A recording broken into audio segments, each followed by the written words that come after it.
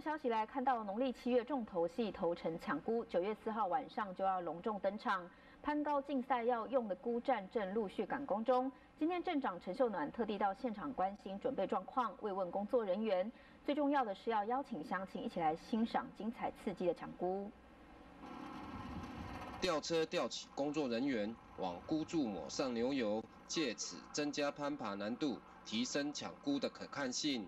还有大吊啊来吊，哦，一挂啊来收，较安全。好，所以才有在钓遐物件去参数落来。牛油啊，一条差不多爱十五加仑。另一边的工作人员则是忙着制作孤站，并且依照各村里的地理环境挑选不同的材料。靠海边的用钓鱼线，靠山边的则是用藤条来绑孤站。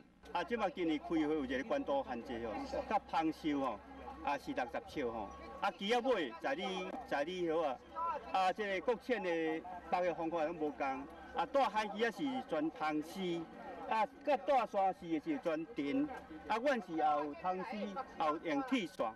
镇长陈秀暖今天特地到场关心孤站制作过程，同时邀请乡亲一起来欣赏精彩刺激的抢孤活动。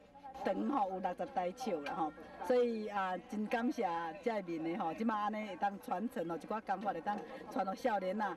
啊啊，咱这这个迄落迄落诶，希望啊。用起来真壮观吼，所以伫遮邀请咱所有的遮观众朋友吼，啊会当来头城吼，来伫咱农历上尾一天吼，七月上尾一天吼，这个来来头城看唱歌。啊，其实即马即两三天吼，拢会当来然后现场拢有这个系列的这个活动吼，啊现场嘛拢会当看到高平高浅吼，啊嘛当看到平平啊。